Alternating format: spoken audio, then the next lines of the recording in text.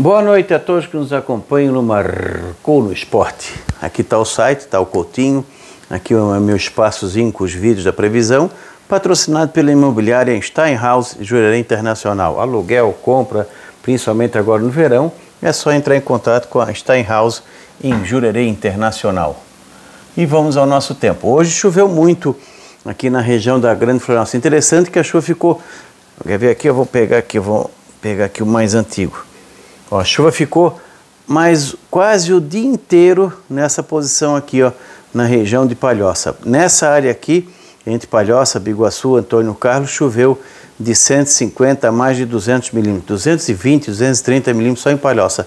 Já na ilha, eu acho que ela não sabia nadar, ela não praticamente não foi.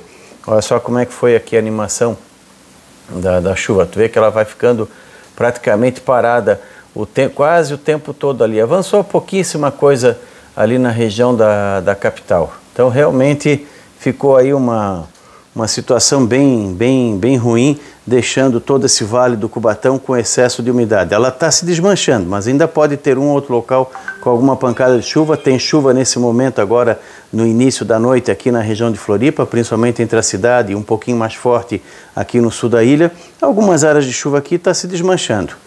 Amanhã nós teremos alternância entre, entre nublado, possíveis aberturas de sol, tem chuva e períodos de tempo seco. Não está indicando nada parecido com essa chuvona que deu hoje.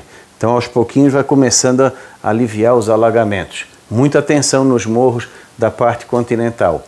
E cuidar também, antes de vir para a Serra ou para o Sul, se informar com a polícia rodoviária para ver se não há nenhuma restrição em alguma rodovia. Na quinta também tem nublado, alguma condição de chuva, período de melhora, continua nessa morrinha de tempo. Sexta, fim de semana começa a mudar. Entra um vento sul, passa a frente fria, começa a cair a temperatura. Ainda deve ter alguma chuva no sábado. Talvez o domingo até passe sem chuva ou com pouca chuva e vai esfriando. Na segunda, está indicando tempo bom, com temperatura baixa de manhã. Quem sabe aí uns 10, 11 graus e não passa muito do 20. Então, quarta, quinta, sexta, sábado, ainda tem chuva e períodos de melhora. Pode ser um pouco mais forte na sexta-feira.